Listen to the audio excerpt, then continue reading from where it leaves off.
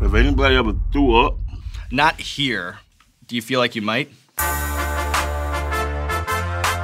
Hey, what's going on, everybody? For First We Feast, I'm Sean Evans, and you're watching Hot Ones. It's the show with hot questions and even hotter wings. And today I'm joined by the legend, Trick Daddy Dollars.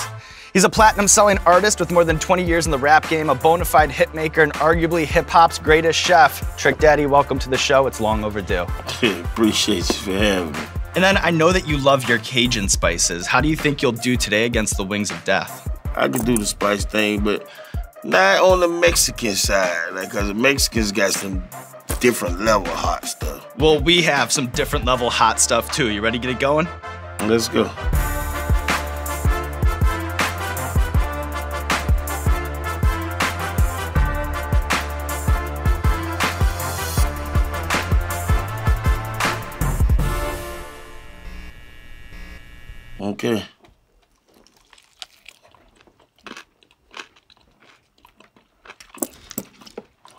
Just play, play. So there are a lot of rappers who get credit for their cooking skills, be it Action Bronson, Coolio, Master P, but the real ones know that Trick Daddy is the Bobby Flay in hip hop. Your Instagram stories, it's basically the best food show on the internet. Caution, macaroni and cheese looking good. Step over here to the stove, got the lima beans, and bitch, I got my pots. I'm a Geechee. Geechee meaning my family is from southeast South Carolina, close by the waters. And being that I was the second oldest of 11, I ended up not washing dishes or cleaning up as more, but doing the cooking. As somebody who now works with a certain level of swagger around the stove, what are your kitchen pet peeves when someone else steps into your kitchen? I don't know if I want you to know the little special thing that I put in my shrimp and grits. My main thing is if you're in my kitchen, you got to be a fine girl or you got to be my assistant and you cutting up onions and bell peppers. Why was your neighborhood growing up called Pork and Beans? It was called the poker beans because the color of the door was the same color as the poker bean cans. It was really the Liberty Square housing project. And then you have an excellent array of aprons. Which one's your favorite? My favorite apron is my apron I got made that said, bitch, I got my pots. Everybody know about this one in the South. Mm-hmm. Even though those feel like you added something else on here. A little spicier than you were expecting? Yeah.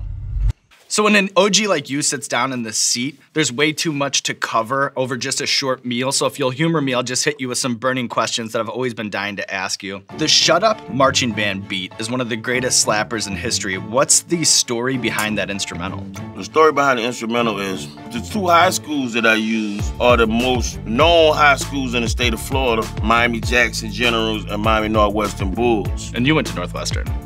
I did actually I was supposed to win to Northwestern. I got in a little trouble and I had to move back down south where I went to South Ridge. Everybody stayed during halftime to see what new popular songs that the bands was gonna do. And so I got those two schools together in historical Orange Bowl and shot this video weeks before the Orange Bowl was condemned. And then, you know, Slip and Slide Records, it always struck me as such a whimsical name for such a thugged out label. What's the story behind how the name came to be? Certain slangs in Miami like snitches get stitches and, and slippers count. Slip and Slide Records, it stands for if you slip, we gonna slide. And then improved because when they first did it, Touche had a man with a jacket on, like like this. Like it was fooky booky. I mean, it was real foo. What do you have against Bugle Boy jeans? Bugle Boy jeans was more like for the preppy guys. Would you wear polos?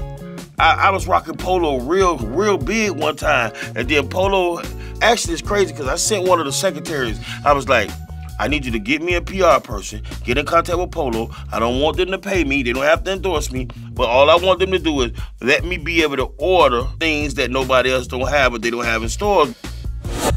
Polo responded, no thank you. And we, we appreciate if you didn't even mention our name or something to that extent. How'd you take that? I wrote a new um, verse for the next album. I was like, I used to be a polo kid until I thought of all the other stupid shit that I did. Nothing I took personal because I never asked them to pay me to wear their clothes anyway. But if they go back to the numbers, when I was talking about this, their stocks went up big time. It's getting harder and harder. That's how the show's designed. Yeah, it's getting harder and harder. So your album Thug.com came out in 1998, and according to the Pew Research Center, barely 40% of the adult population was even online back then, and the AOL homepage was just a collection of hyperlinks. Do you feel like you were ahead of your time with that title? I feel like I feel like we slipped. You fucked up. I, we were supposed to make some of that internet money. We were supposed to make some some Facebook money or some MySpace money at the time, some of that Google money. I went to prison at a young age. We watched as the prison system changed. And we went from cash in prison to using our ID card as the cash. Because you were online before most people were online. Right. It put a lot of knowledge in my head. Well, this is where we're gonna be in years to come. Has the internet been good for rap or bad for rap? Both. So the rap game is so crowded and so congested now. Everybody want to sound alike. Nobody got a different style. Nobody got no story. My music was totally different from that. A lot of my music is visions. Thug.com was let them know that I was a thug from the future because all the stuff that I talked about in that album still is happening right now, today. It's actually good. Whoever cooked the chicken know how to cook the chicken. So I want to stay on the subject of food because the Trick Daddy world, it doesn't end in the kitchen. Can you explain the hip hop world's love for Benihana? I always tell girls the, the reason why I Benihana is, is, is popular in my in my world. I always tell girls this. If I meet a girl, I be like, "What's up, baby? Take this out. I want to take you out to dinner. Can I take you out to a nice restaurant, somewhere where they fix the food right in front of you?" And she be like, "What? Benny Benihana's?" I be like, "No, Subway." So, so from there, there's just something about being able to sit down, and cook the food in front of you. I know that you flirted with the idea of opening a restaurant here in Miami. Can you close your eyes and describe in vivid detail what the Trick Daddy restaurant looks like? Trick Daddy restaurant's called T Double Delicious. Not too many tables because I want you to get it and go. I got collard greens with ham hocks, pigtail, and smoked neck bones in there. Macaroni and cheese, definitely. My drinks are what you might call in your hometown Arnold Palmer. Yeah, what do you we call, We call it the flop here. It's called the flop here. It's lemonade with the tea. The the five dollar po man meal. What's in the $5 poor man meal? You can get you three wings and a fries, a cheeseburger and a fry, a hamburger, a fry and a soda, or a hot dog, a fry and a soda, or a hot dog, a soda and some chips. And I will have special rate for all school teachers because I never think that school teachers, I, I just don't think that they get paid what they should get paid. Hammer.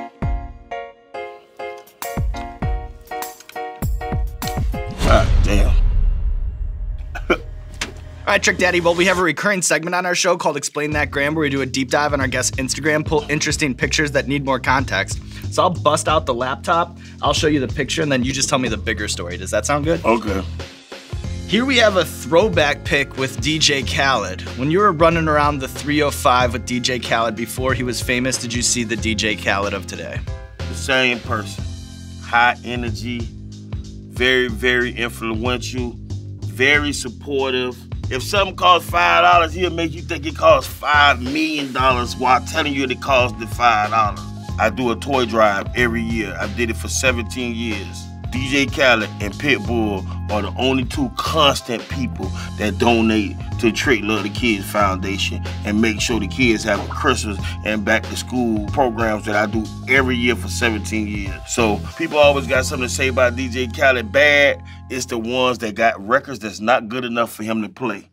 Best party ever with Scottie Pippen and Lil Wayne? Me, Scottie Pippen, and Lil Wayne all got the same birthday. Really? yeah. At Club LIV, the best club in the world, and they've always shown me love. And this was actually a time that it was supposed to be some type of feud between me and Baby at the time, and Right. me and Wayne was even supposed to be speaking, and it was historical. That's one of my best birthdays in the last 20. Everything was good. The women were looking good and delicious, so everything came out all right. Sounds like a hell of a birthday party. You ready to move on, Trick Daddy? Yeah, unfortunately, my nose starting to tinkle a little. It said gluten free. When I first read it, I thought they was giving away gluten. I was like, you want gluten? It's free here.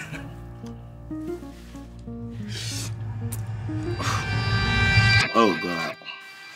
So you hail from Miami's Liberty City. It's a neighborhood on the north side that's produced more than its fair share of college football standouts and NFL superstars. The U's football program, it was so closely connected to Miami's hip hop scene at the time. What role did Trick Daddy play in all that? Where were you in that cloth? I'm I could say this without nobody getting in trouble. I endorsed a lot of them, took care of a lot of them, and I made a lot of money off of them. When we played another team from another city or another state, tell them to bring the bag. We bet in the house. Do you have any crazy Jeremy Shockey stories that you can share with us? Yeah, but I wouldn't. That's my main man. Me and Jeremy Shockey, we had some nice times together. I imagine, I imagine. One story, we went to the uh, when the Marlins opened the baseball stadium, and we went down to the Clevelander, to the club in there. There was some bad girls in the pool. Me and uh, Jeremy Shockey, we was talking about the boy from the sixth floor, the, the song, That dorm rap song the dorm rap song. with yeah. uh, with Greg Olsen. I'm- right. Yeah. We, me, me and Shock was talking about that. Did you like that song? I loved it. And I think G Reg, he had the hardest verse on there too. G Reg, the girls give me head. Yeah, yeah, yeah. that one right there. And then we was talking about that song laughing, and we got some ones that we made it rain on the girls in the pool, and the and the owner of the Marlins Stadium was like, "You can't do that in here." I was like, "Okay, okay, okay." Who's a bigger Miami Heat fan, you or Lil Wayne? That's a crazy question. I'm Miami everything. It's Miami against everybody. I'm Miami everything. You can't melt Lil Wayne and pour him on me in a Miami Heat jersey. Sauce spaghetti. I know this side of my jaw is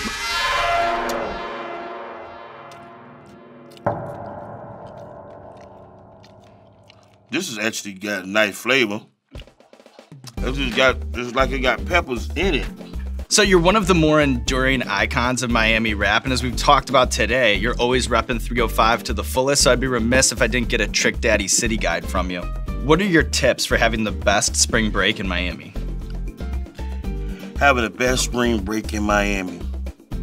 All the fellas enjoy the beaches, but don't fall in love with my bitches. Don't come down here and act like you ain't got good sense because you know the original saying by Miami come on vacation, leave on probation. Arrive alive, and make sure you come on this side of the bridge before you can say, I've been to Miami. What makes Miami strip clubs different from other strip clubs? we get bucket naked. They get bucket naked. They get butt naked in Miami. Is there an underrated food specialty that you can push me towards? You need to try conch. And a lot of people say conch is an aphrodisiac. Is that's, that's incorrect. That's a mind thing. There's a piston of the conch. The piston, which they say is the penis, but you have to get that straight out the shell with the conch. If you don't, it's not an aphrodisiac. But conch is a delicatessen here now. Conch is 15 $16 a pound. Matter of fact, I got some in the trunk right now. I went and bought a case of conch. Valuable cargo. Are you ready to move on? I know one thing, the water make it worse. Well, if you say it, it's the truth. Okay. So this one It's is the bomb. bomb. Yeah, it is.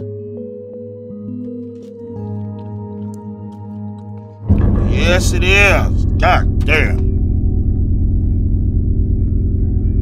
This here, Yeah.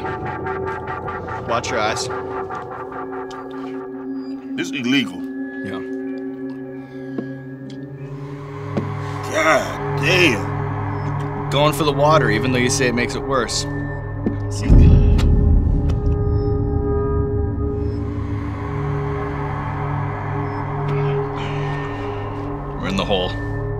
So, in recent years, you've been pretty vocal about your opinions regarding the state of rap. What's one way that rap has changed for the better over the last 20 years, and one way that it's changed for the worse?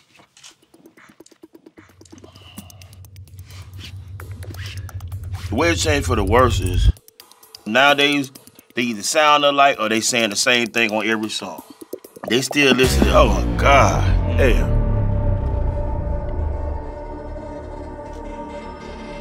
My eyes watering. You look great. You look great, Trick. oh shit. Hell no, I'll let y'all boost me up to do this shit.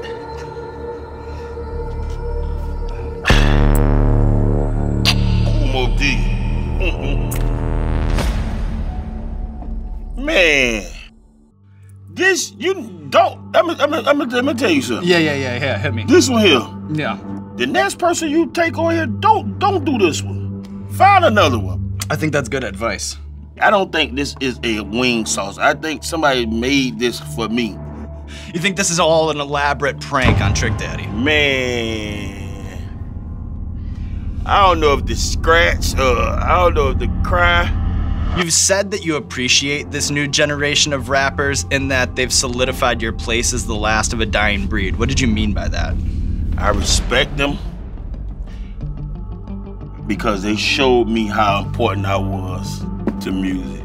What's your take on Stitches? Do you take him seriously as a Miami rapper? Me and Stitches, we cool. As far as music, I only do music with people who are in my label because everybody I know want to be a rapper now. So if they think, oh, cause I speak, cause Trick speak to me, we cool. Hey Trick, let me get a feature. It's not that easy. I didn't have it that easy. You shouldn't have it that easy. What about Kodak Black? Free Kodak Black. I hope that he can get his head together and get some people around him that really care about him.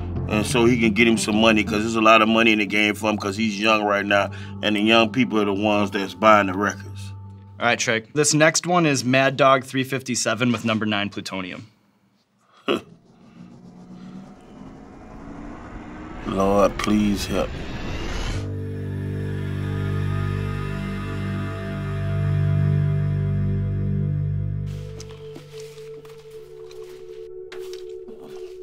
If anybody ever threw up, Not here.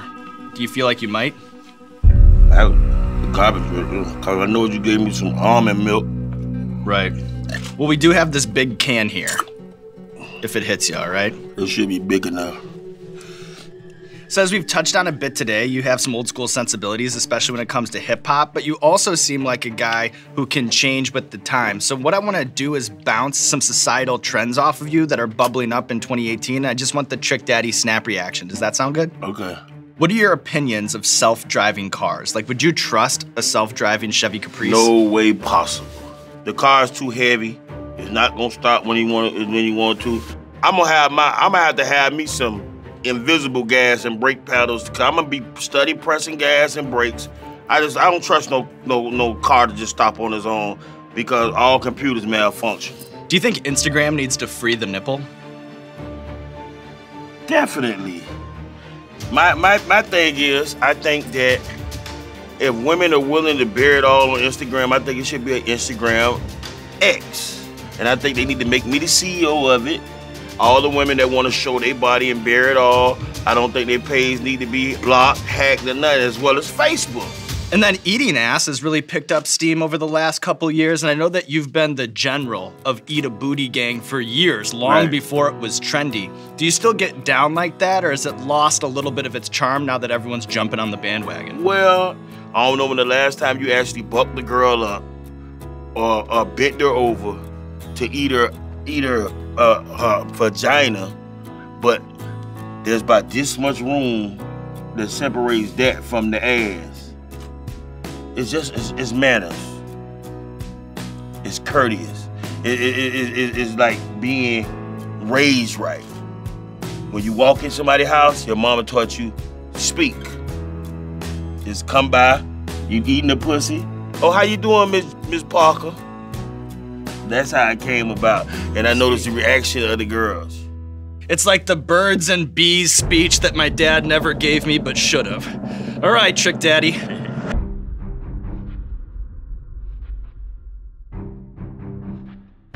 This is the last dab. We call it the last dab because it's tradition around here to put a little extra on the Oh, last shit. wing. Did you make this up? Did let's be honest with you. Yeah, yeah, yeah. I'll always be honest with you. Okay. Did so? I'm not the only one that's gonna put a little. Look, look, I got shit on there already. Yeah, got- there's there's shit on there already. There's shit on there already. But you don't have to if you don't want to. Ain't no, I ain't no way God ain't brought me this far to drop me off right here. Respect. Respect. God damn it. The old peel and eat. Oh my God. Tastes like the middle of a pepper. Mm-hmm.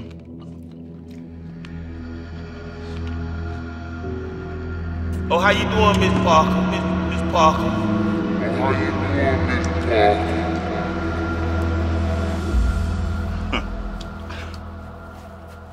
This crazy.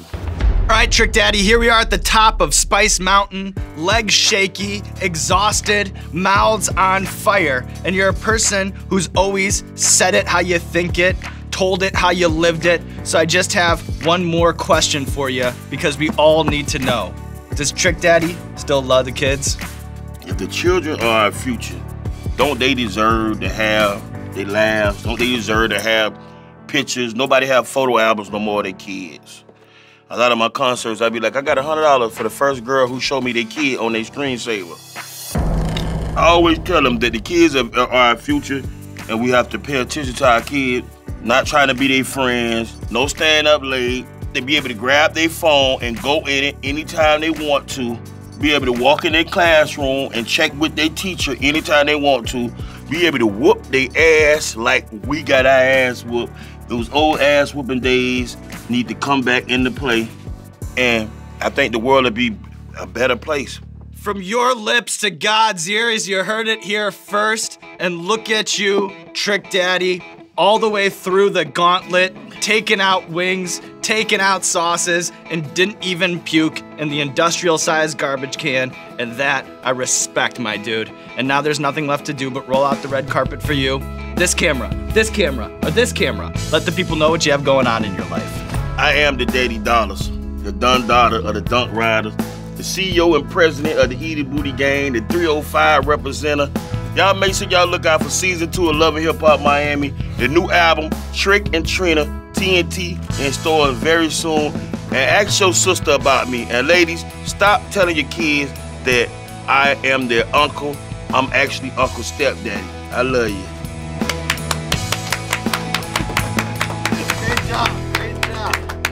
How do you feel? Oh man, fucked up. God damn, man. Yeah.